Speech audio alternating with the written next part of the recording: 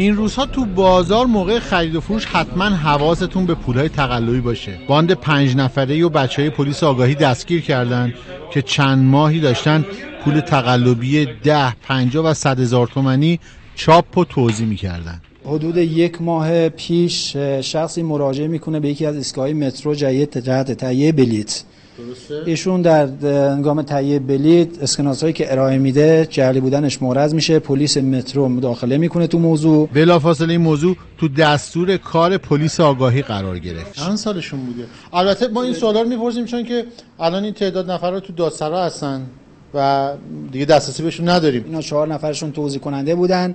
یک نفر جال اصلیه که حدود 45 سال سن داره و به اصطلاح به صورت تخصصی این کارو می‌کرده. واقعا مشخص نیست. ببینید نخ امنیتی داره نخ امنیتی پنجره‌ای داره. چاپش برجسته است.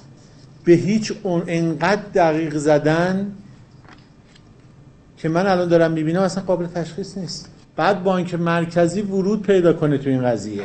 سعی داشتن که این دلار دلار اصله. داشتن کار می‌کردن که بتونن دلار تقلبی هم تو بازار بدن. علاوه بر خرج کردن پولها توسط این چهار نفر رستورانی هم تو شرق تهران داشتن که پولها رو دست مشتری ها می‌دادن. با بچه ها آگاهی بدیم این پولها رو خرج کنیم. ببینیم قبول می‌کنن مغازه دارا؟ اولین مغازه سوپرمارکت بود.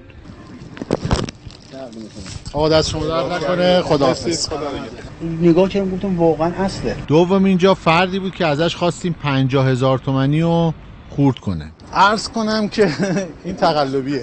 تقلبیه؟ آره. متوجه شدی؟ نه. جهلش خوب انجام داده؟ آره خوب انجام. سوم اینجا نونوایی بود. آقا چه خبر؟ اون پول تقلبی بود. آره من نگاه نکردم. نگاه نکردی؟ دیگه. چرا نگاه نکردی؟ ما گول شما رو خوردیم. چهارمی و پنجمین جا شیرینی فروشی و سوپرمارکت. آقا آقا ممنونم. خدمت شما عرض کنم که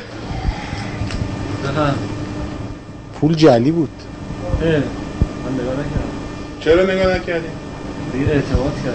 پول ما هم پس بدید تقلبی بود. جدی؟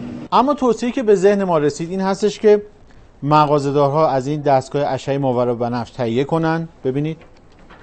به راحتی پول مشخص است. چرا قوهش هم تو بازار وجود داره. اما در خصوص مردم ببینید پول بعد جلوی روشنایی می‌گیرن این کبوتر و این پنجایی شفاف شفافه.